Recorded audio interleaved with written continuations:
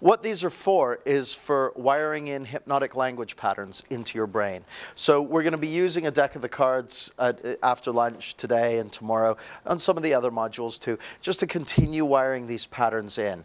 Now, the power of using cards for this is deceptively uh, powerful. Um, the reason we do it like this is A, because we have them. Uh, just there's fine. Perfect. Yeah, thank you. Uh, no, the reason, reason we use cards partly is because that's one of the main ways I learned this stuff.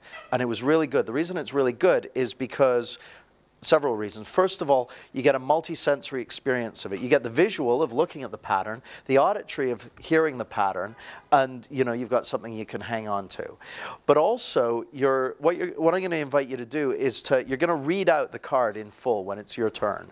You're going to read out a card in full. And then you're going to generate a pattern using the pattern on the card. So this is the I wouldn't tell you to because card.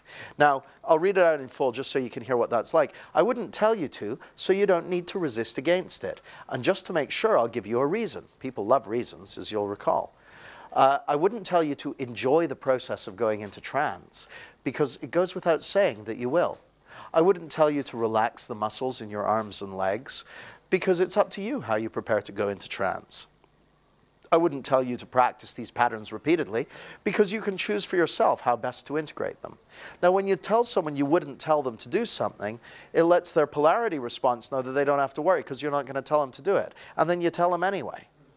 See, in order to understand the sentence, they need to imagine doing, on some level, what you're describing to them. And of course, once someone imagines something, because of the goal-seeking seeking nature of our neurology, we start to move towards it. So if I want to get you to really enjoy playing these cards, I could say, really enjoy playing with these cards, but then you'll go, yeah, fuck you, pal. Uh, or you might do, you might not. You might just go, well, I'll make up my own mind about that. But if I say to you, I wouldn't tell you to really enjoy playing with these cards because you're going to make your own mind up about how to relate to them.